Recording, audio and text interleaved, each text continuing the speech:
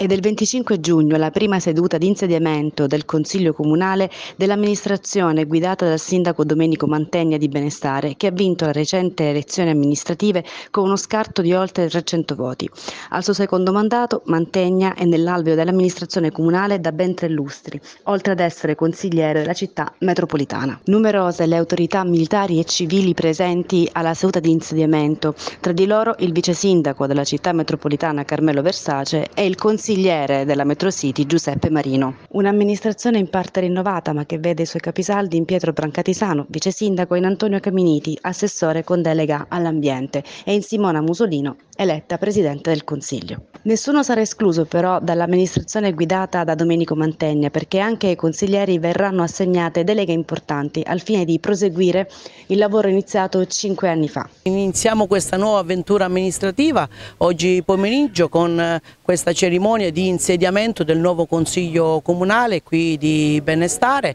dopo una eh, importante, intensa eh, campagna elettorale che ci ha, ha, visto quindi la squadra da me rappresentata eh, primeggiare con un risultato davvero molto molto importante, quindi grande fiducia da parte del popolo benestarese e siamo qui per eh, iniziare quindi eh, quello che è i nostri obiettivi, il nostro programma politico amministrativo per poter dare quelle risposte che la nostra comunità, i nostri cittadini, la nostra gente eh, si aspetta. Eh, quindi iniziamo, eh, sono contento, c'è eh, una grande partecipazione della, della nostra gente, l'avevamo chiesto di starci vicino, abbiamo tante idee in, in itinere e siamo fiduciosi che ecco, riusciremo a dare maggiore impulso alla crescita economica, sociale e politica del nostro Paese attraverso una serie di progetti strategici che alcuni sono stati già avviati, sono già partiti, altri sono in, in itinere. Quindi